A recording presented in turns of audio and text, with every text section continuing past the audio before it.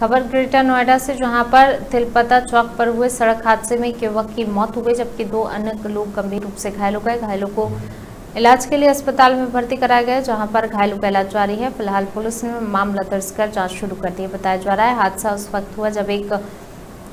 container खड़ा था खड़े कंटेनर में अनियंत्रित तेज रफ्तार कार आकर घुस गई हादसे में कार के परखच्चे उड़ गए स्थानीय लोगों ने कार में फंसे लोगों को निकाला और घटना की सूचना पुलिस को दी है